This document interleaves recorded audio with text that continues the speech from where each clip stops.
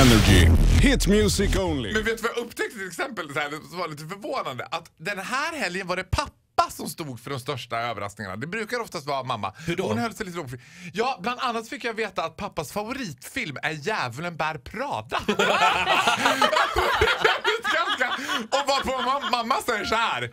Ja, han har sett den där filmen tre gånger den här veckan. Men vad, hur kom ni in på det här? Ja men det var Djävulen bär Prada gick på TV och då, typ, tyst, sa pappa. Men vad, vad är det han gillar med den filmen? Han gillar Meryl Streep. Alltså Meryl Streep känns som lite männens version av Rolf Lassgård. Mm. Vet, han satt hela tiden och bara och se hur hon rör sig. Men också lite den där awkward situation när pappa börjar citera Meryl Streep hela tiden.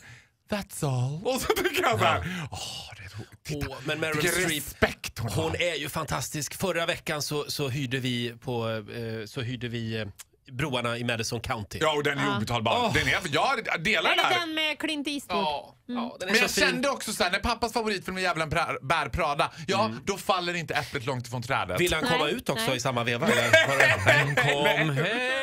Han höll sig inne. Mm. Han höll sig inne. Nej, men det var jättetrevligt, jag älskar det där. Jag hängde ju med praktikant-Hugo också.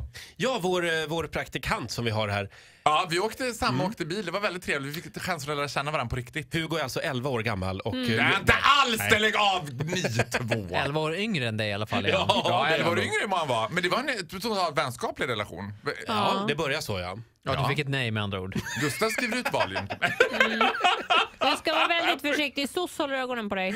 Ja, genom dig. Jag vet. Ja, jag är deras angivare. Farao, det Ja. låter som en väldigt spännande påsk i alla fall. Ja, men det var en väldigt spännande post. Nu tar jag nya friska tag och laddar inför midsommar. Får man vara med dig på midsommar? Ja! Ja. Det skulle du kunna få! Bra, då bjuder jag in mig själv. Ja, men det hade Bra. varit dödskul Ja, ju. verkligen. Ja. Eh, tack Farao för den här morgonen. Du får en Ja, applåd av oss. Hej då! Hej, Faro här. Kan ni inte heller få nog av alla mina klipp? Glöm inte att ni kan prenumerera. Då får ni meddela dem när det finns nya klipp ute.